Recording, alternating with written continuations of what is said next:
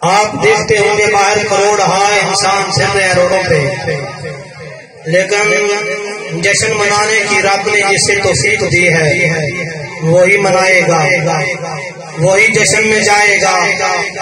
جیسے رب جس کو توفیق دیتا ہے، وہ مسجد میں چلے جاتا ہے۔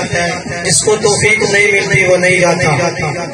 رب تعالیٰ نے اپنی پاکرام کے اندر یہ ساتھ فرمایا، یوم بلندو و یوم اوتو و یوم اوبا سبحیا حضرت عیسیٰ علیہ السلام عرض کرتے ہیں کہ مولا، جس دن میری پیدائش ہوئی، اس دن بھی مجھ پر سلام۔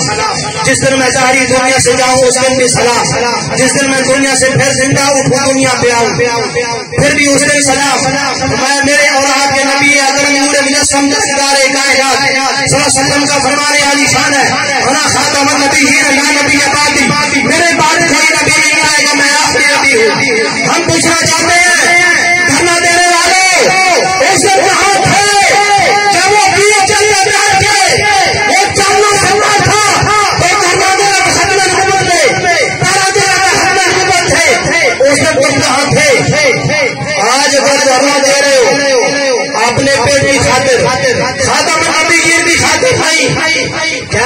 اسلامی جمہوریت لانا چاہتے ہیں۔ کون سی سماجی جمہوریت کتنے سال گزر کے پاکستان بنے ہوئے؟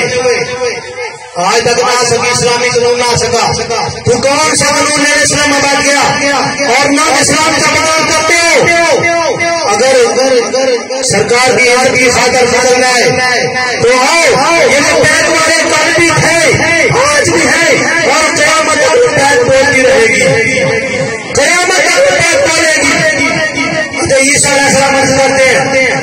ہیں سلام ہو، تو پھر میرے نبی جو ہے عیسیٰ کرتے ہیں کہ مولا، کاش میں اس آخری نبی کے جوتوں کے اداس میں تسمے باندھنے کا قابل ہو جاؤں۔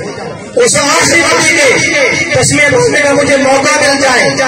عیسیٰ علیہ السلام تو وہ ہے ہم کسی کی نبی کی شان بتانے والے نہیں۔ ہر نبی کا مقام اپنا اپنا۔ ہم ہر نبی کو مانتے ہیں۔ ہر نبی کی عزت و شان و شوقت کے ساتھ مانتے ہیں۔ لیکن میرے اور اپنے نبی نبی آخر زمانے سب سے اعلیٰ سب سے بلند، سب سے عزت و والا میرے نبی ہے۔ سب سے بلند عزت میرے نبی کی ہے۔ میرے نبی کے مقابلے کا کوئی نہ آیا، آپ کے بھائی کا کوئی نام آیا، اور میرے نبی کے بعد کوئی نبی نہیں آئے۔ کوئی کہتا ہے، اگر آپ کے بعد کوئی نبی آ جائے تو نبوت میں کیا فرق پڑتا ہے۔